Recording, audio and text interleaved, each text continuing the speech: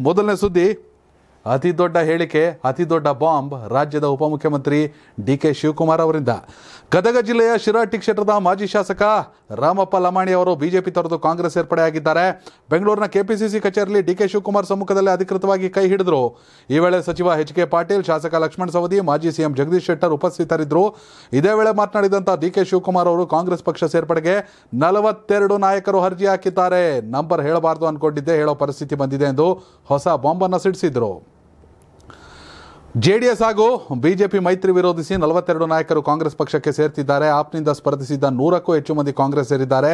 BJP ಒಂದು team cinema ರೀತಿ ನಮ್ಮ ಜೊತೆ ಮಾತುಕತೆ ಮಾಡ್ತಿದ್ದಾರೆ ಎಂದು ಹೇಳುವ ಮೂಲಕ ರಾಜ್ಯ ರಾಜಕಾರಣದಲ್ಲಿ ಹಲ್ಚಲ್ ಕಾಂಗ್ರೆಸ್ ಏರ್ಪಡೆಯಾದ ಬಳಿಕ ಮಾತನಾಡಿದಂಥ ರಾಮಪ್ಪ ಲಮಾಣಿ, ಯಾವುದೇ ಕಂಡೀಷನ್ ಇಲ್ಲದೆ ಕಾಂಗ್ರೆಸ್ ಸೇರ್ಪಡೆಯಾಗಿದ್ದಾನೆ ಜಗದೀಶ್ ಶೆಟ್ಟರ್ ಸಾಕಷ್ಟು ಮಾಜಿ ಶಾಸಕರಿಗೆ ಗಾಳ ಹಾಕಿದ್ದಾರೆ. ಡಿಸಿಎಂ ಡಿ ಕೆ ಶಿವಕುಮಾರ್ ಕೂಡ ಸಾಕಷ್ಟು ಮಂದಿಗೆ ಗಾಳ ಹಾಕಿದ್ದು ರಾಜ್ಯದಲ್ಲಿ ಬಿಜೆಪಿ ಧೂಳಿಪಟ ಆಗಲಿದೆ.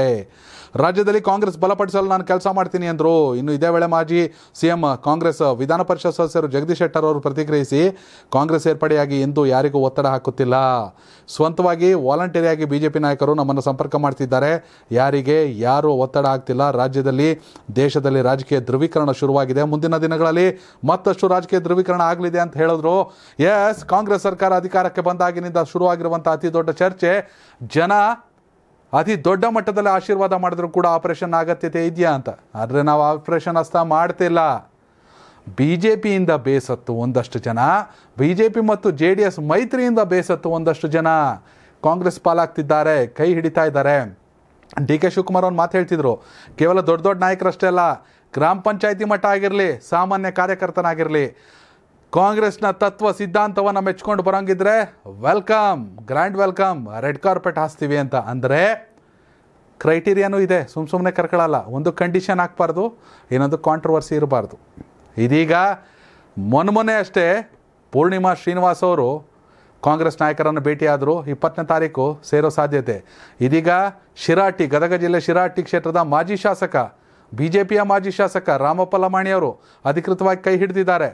ಆನಂತರದಲ್ಲಿ ಮೂಡಿಗೆರೆಯ ಮಾಜಿ ಶಾಸಕ ಬಿ ಜೆ ಪಿಲಿ ಗೆದ್ದೆ ಎಂ ಎಲ್ ಎ ಆಗಿದ್ದವರು ಟಿಕೆಟ್ ಕೊಡಲಿಲ್ಲ ಅಂತ ಜೆ ಡಿ ಎಸ್ಸಿಂದ ಹೋಗ್ಬಿಟ್ಟು ಲಾಸ್ಟ್ ಟೈಮ್ ಎಲೆಕ್ಷನ್ ನಿಂತವರು ಸೋತರು.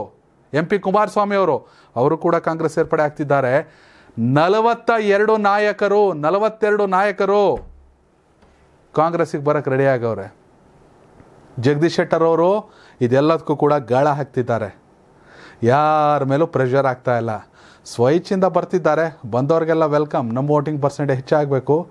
ಲೋಕಸಭಾ ಚುನಾವಣೆಯಲ್ಲಿ. ವೀಕ್ಷಕರೇ, ರಾಜ್ಯ ಬಿ ಜೆ ಪಿಯಲ್ಲಿ ಮುಂದೆ ಗುರುನೂ, ಗುರಿನೂ ಇಲ್ಲ, ಹಿಂದೆ ಗುರುನೂ ಇಲ್ಲ ಅನ್ನೋಂಗೆ ಆಗ್ತಿದೆಯಾ? ಎಲೆಕ್ಷನ್ ವೇಳೆಗೆ ಅತಿ ದೊಡ್ಡ ಧ್ರುವೀಕರಣ. ರಾಜ್ಯದಲ್ಲಷ್ಟೇ ಅಲ್ಲ, ದೇಶದಲ್ಲಿ ಅಂತ ಹೇಳ್ತಿದ್ದಾರೆ. ಏನಂತೀರಾ? ಇದ್ರ ಬಗ್ಗೆ ನಿಮ್ಮ ಅಭಿಪ್ರಾಯನ ಕಾಮೆಂಟ್ ಮಾಡಿ.